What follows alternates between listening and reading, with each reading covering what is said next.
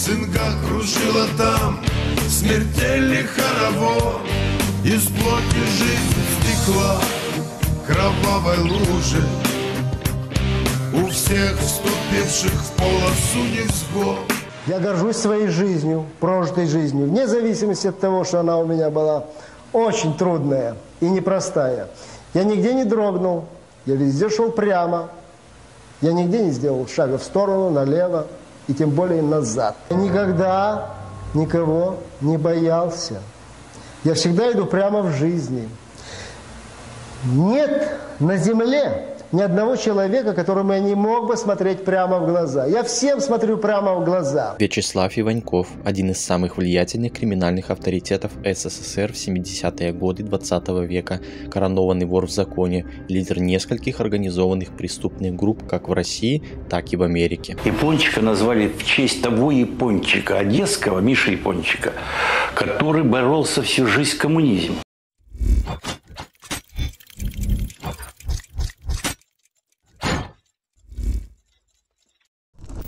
Биография Вячеслава Кирилловича Иванькова, известного всем под кличкой Япончик, началась 2 января 1940 года.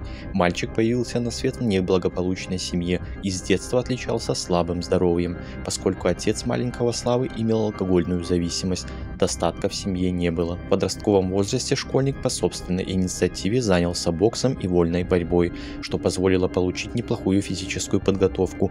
Парень закончил восьмилетку и, обладая хорошими данными, поступил поступил в цирковое спецучилище. Он хотел стать воздушным гимнастом. Несомненно, у талантливого молодого человека могла получиться неплохая карьера циркового артиста, но все его планы перечеркнуло падение с трапеции, результатом которого оказалась закрытая черепно-мозговая травма. От медицинской помощи парень отказался, но повреждение было достаточно серьезным, поскольку во время последующих тренировок он падал в обморок. Училище пришлось оставить, как и планы на карьеру артиста. Впервые в сферу внимания правоохранительных правоохранительных органов Вячеслав попал в 15 лет. Его словили на карманной краже. В участке подросток яростно сопротивлялся, поэтому его направили на судебно-психиатрическую экспертизу. В Кащенко ему поставили диагноз – шизофрения. Прибывая в больнице, парень заинтересовался книгами и судебным производством. Через год Иваньков еще раз проходит комиссию в Кащенко, и медики подтверждают заключение, в результате чего Вячеслав отправляется на принудительное лечение. Парень сбежал из больницы и вернулся домой, устроился на работу работу слесарем, позже стал бригадиром приемщиков и даже стал посещать вечернюю школу. Обучение молодой человек закончил экстерном, сдав экзамены за 9 и 10 классы. Завершая среднее образование, он скрывался от работников милиции. В конце 1966 года его снова задержали и вернули в лечебное заведение, в котором он находился до марта следующего года с диагнозом шизофреноподобный психоз вследствие травмы головы.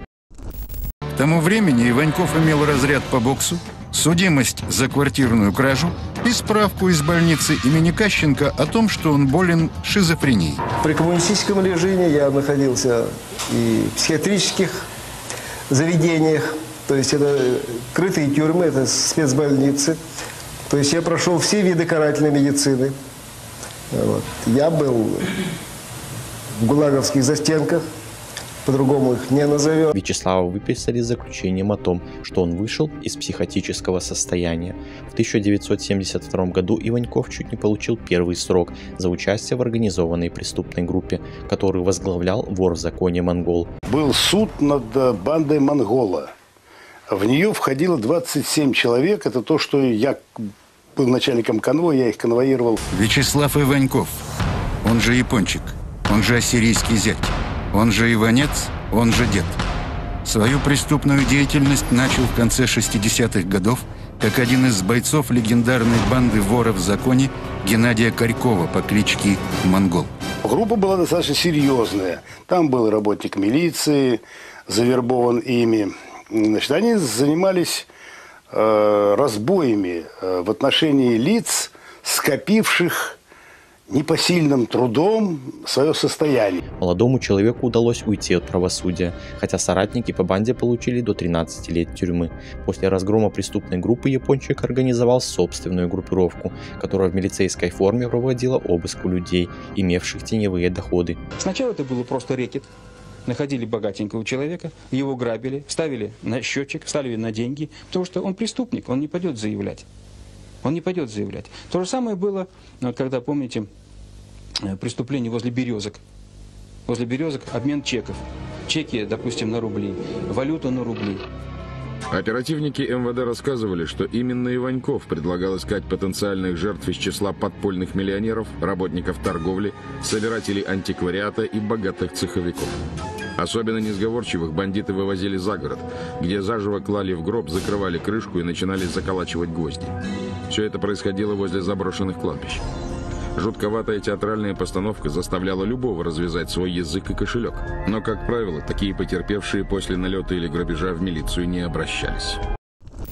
Преступники изымали деньги, ценности, информацию о которых жестоко выбивали из людей. География интересов ОПГ расширилась и вскоре захватила СССР. Эпизоды с их участием происходили в Риге, Казани, Свердловске. Бандиты убивали своих жертв, среди которых были спекулянты, цеховики и прочие представители нелегального бизнеса. Преступления лидера ОПГ оставались за кадром. Официально мужчина вел обычную жизнь, работал в фотолаборатории, а после и тренером в детской спортивной школе. В 1970 1974 году Иваньков бессрочно оформил вторую группу инвалидности, которую получил по психическому заболеванию.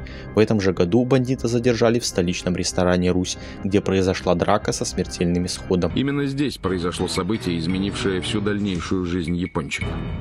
В марте 1974 года Иваньков с друзьями ужинал в ресторане. За соседним столиком сидел грузинский вор в законе Гогот Белиский. Неожиданно он встал, подошел к девушке, которая танцевала с Иваньковым, и словно шпильку воткнул ей в прическу 100-рублевую купюру. Началась драка, затем стрельба. У япончика оружия не было, и доподлинно известно, что сам он в Гогут Белисского не стрелял. Экспертиза не выявила у преступника психического заболевания, так что симулянта осудили по всей строгости закона и по статье 196, часть 3 УК СССР и приговорили к 7,5 месяцам заключения. Во время следствия, находясь в Бутырской тюрьме, япончик получает свою знаменитую кличку Исан Вора в законе. Вообще это движение Вора в законе оно было инициировано органами НКВД для того, чтобы держать в повиновении а, массы политических заключенных в зонах. Это было выгодно, это было удобно. Уголовникам, уголовникам отводилась роль как бы внутреннего контроля, внутреннего надзора и методы, которые они применяли, они были достаточно жестокими. Это беспредел, это запугивание, это террор. После выхода на свободу Иваньков официально работал товароведом в овощном магазине, но на самом деле продолжил заниматься криминалом и в 1980-м создал еще одну организованную преступную группу, которая также практиковала вымогательство и рэкет. 1992 год ознаменовался иммиграцией. Мужчина выехал в Германию, в марте 92-го он оказался в Германии, а еще через две недели в Америке. В Шереметьево-2, как память о нем, осталась таможенная декларация. Иваньков при выезде из страны имел при себе 130 долларов, золотое кольцо и крест. Каким образом человеку с непогашенной судимостью и поддельным паспортом удалось пересечь три границы, до сих пор загадка после чего отправился в США и обосновался в Нью-Йорке, где организовал очередную ОПГ из 250 бывших спортсменов и сотрудников КГБ. В это время СМИ стали называть его главой русской мафии в Нью-Йорке. В 1994 году за япончиком ФБР установило круглосуточное наблюдение. В проекте задействовали 18 агентов. Основанием стало обвинение в вымогательстве 2,7 миллиона долларов у владельца Summit International. Собранные доказательства позволили подтвердить обоснование обвинения в суде. И в 1997 году Иванькова осудили на 9 лет и 7 месяцев тюрьмы. Американцы обвинили Иванькова в том, что он угрожал расправиться с бизнесменами Волковым и Волошиным, если те не вернут 3,5 миллиона долларов печально известного банка Чара. Александр Добровинский утверждает, никаких угроз не было, они даже не требовались. Одного имени Ванькова было достаточно для того, чтобы Волков и Воложин э, упали ниц, и у них затряслись поджилки, и начал безумно, там, я не знаю, от страха сужаться анус. Многие утверждали, что Вячеслав Иваньков таким образом хотел вернуть деньги обманутых вкладчиков чары, простых людей и пенсионеров. Однако это далеко не так. По оперативным данным, Половина суммы должна была пойти в карман одного из российских коммерсантов, а половину собирался забрать себе сам япончик. Иванькова осуждают почти на 10 лет. 5 миллионов-то в общей сложности ушло. Сначала бандит отбывал наказание в тюрьме Алленвуд, а в 1999 был переведен в крыло для опасных преступников из-за найденного в камере героина. В 2004 году вора в законе депортировали в Россию и предъявили обвинение в убийстве бизнесменов из Турции, но дело развалилось. Криминальный авторитет отправился за границу, где выступал третейским судьей в конфликтных ситуациях между местными группировками. Япончик предпочел перебраться в США, но его высказывания об этой стране не самые положительные. Первой женой япончика стала Лидия Айвазова. Она являлась потомком князей из Ассирии. Из-за жены Вячеслав получил свою первую кличку – Ассирийский зять. Они поженились в 1960 году, а в 1971 оформили развод. У пары родились двое детей – Геннадий и Эдуард, которые поддерживали отношения с обоими родителями после их развода. Оба сына уехали за границу и официально не связаны с криминалом, но по оперативным данным ФБР занимались отмыванием денег преступной группировки отца. Геннадий эмигрировал в США, тогда как выбор Эдуарда пал на Австрию. У япончика был и приемный сын. Это ребенок одной из его боевых подруг. Не являясь биологическим отцом мальчика, Вячеслав принял серьезное участие в жизни Виктора, который боготворил отчима. Кстати, он сам короновал пасынка в 22 года. Виктор Никифоров, Витя Калина, стал вором в законе, одним из самых молодых в криминальном мире. 18 лет Витя Калина получил 5 лет строгача. Воровская карьера молодого человека была яркой, но недолгой. Неподалеку от дома на него было совершено покушение. Ранение в голову оказалось смертельным. Его жизнь оборвалась в возрасте 28 лет. В начале 90-х япончик оформляет фиктивный брак для легализации в США. По бумагам его женой стала Ирина Ола, уроженка Киева 1974 года рождения. В свое время она была аккомпаниатором известного эмигранта, артиста Вилли Токарева. Боевой подругой вора в законе в Америке стала Фаина Комиссар, которая в девичестве носила фамилию Рослина. Эта русскоязычная эмигрантка так и не стала официальной супругой Вячеслава, но они были вместе до его смерти. Кстати, после кончины Иванькова появилось несколько претенденток на звание вдовы Япончика. Помимо комиссар, на место в личной жизни авторитета претендует Ника, или как она себя называет, Николь Кузнецова. Она является матерью самого младшего ребенка Иванькова, Георгия. Впрочем, данная информация стала известна из интервью самой Николь, которая строит карьеру белого мага. Иваньков погиб в 2009 году в результате покушения, произошедшего у московского ресторана «Тайский слон». 28 июля два снайпера обстреляли вора в законе. Стрельба велась через отверстие в тентованном кузове «Газели». Исполнителей убийства так и не нашли. Охрана затащила раненого Вячеслава в ресторан, после чего отправила в больницу. Ранение оказалось тяжелым. Жизнь бандита оборвалась 9 октября. Причиной смерти стал перитонит. Это запись, сделанная камерой наружного наблюдения у входа в московский ресторан «Тайский слон». Вот что происходило в первые секунды после выстрела. И вот он посерединке, вот второй сопровождающий, все, вот он упал. А это картинка из холла ресторана. Охранники заносят Иванькова внутрь, пострадавший в сознании. Его кладут на диван, пытаются оказать помощь. Скорая уже на подъезде. Медики кладут Иванькова на носилки и увозят. Убийца стрелял из угнанной накануне «Газели», припаркованной на другой стороне улицы. В тенте было проделано небольшое отверстие, через которое просматривался выход из ресторана. Внутри фургона оборудована позиция для ведения стрельбы. Позже сыщики найдут в кузове машины оставленную киллером снайперскую винтовку Драгунова. Пуля попала 69-летнему авторитету в живот и разорвала кишечник в пяти местах. В больнице была проведена четырехчасовая операция. Потом его состояние ухудшилось, начался перитонит, отказали почки и печень.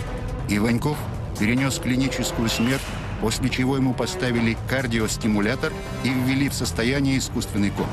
Но оказалось, что помочь ему невозможно. Церемония прощания с авторитетом прошла 13 октября в храме Воскресения Славущего. Япончика похоронили на Ваганьковском кладбище. Событие освещалось в СМИ, хотя родственники желали ограничить присутствие репортеров на похоронах. С вором в законе на кладбище пришли проститься 500 человек из криминального мира. Памятник на могиле установили летом 2011 года. Фото на надгробии нет, поскольку бандита изваяли в полный рост.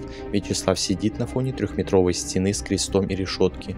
Навещающие могилу авторитеты укладывают под ногу скульптуры фальшивую пятисотенную купюру, а в рюмку в руке наливают водку. Как ни странно, но фамилия Иванькова на памятнике написана без мягкого знака. Дорогие друзья, для канала важна ваша поддержка. Если вам понравилось это видео, ставьте лайки, пишите комментарии, подписывайтесь на канал. Если хотите поддержать канал финансово, ссылка в описании. У меня также есть Boosty, на котором контент будет всегда выходить раньше, чем на YouTube. Некоторый контент будет сугубо только на Boosty. С вами не прощаюсь и до встречи.